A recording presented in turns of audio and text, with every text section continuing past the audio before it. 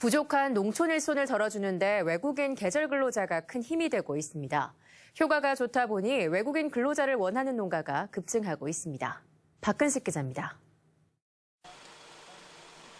쌈 채소를 재배하는 영양군 12면 한 농장. 비닐하우스에서는 요즘 가격이 크게 오른 쌈배추 수확이 한창입니다. 영양군과 상호 교류 협약을 체결한 베트남 다낭시 화방군의 사람들로 법무부가 올 들어 시군을 통해 농사일에 한 해 세 달간의 단기 취업 비자를 내주자 이달 초에 입국한 외국인 계절 근로자들입니다. rất là để học nghiệp và để kiếm tiền về cho vợ con cho cuộc sống. nói chung là không có gì khó khăn rất thoải mái 이번에 영양군에 들어온 베트남 근로자는 모두 42명으로 지난 4월 상반기에 다녀간 19명에 비해 배 이상 늘었습니다. 이들에게는 숙식이 제공되고 사고에 대비한 산재보험 가입과 하루 8시간 근무에 월 150만 원 안팎의 임금이 지급됩니다. 이것저것 따져보면 우리나라 임금에 비해서도 적지 않은 비용이지만 어쨌든 농가는 대환영입니다.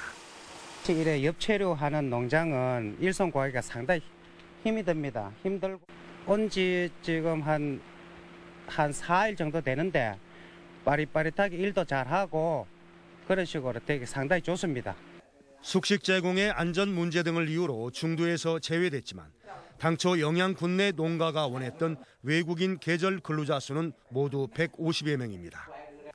지역 인구의 급속한 감소에 그나마 도시에서 공급되는 인력 또한 6, 70대로 농가에서 외국인 근로자 수용에는 선택의 여지가 없습니다. 우리 영양 농업 여건은 아, 일손이 많이 필요하는 농업입니다. 아, 외국인 계절 근로자 그 사업을 확대하지 않을 수 없는 그런 상황에 있습니다.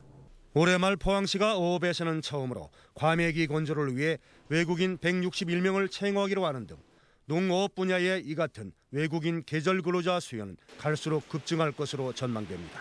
MBC 뉴스 박근식입니다.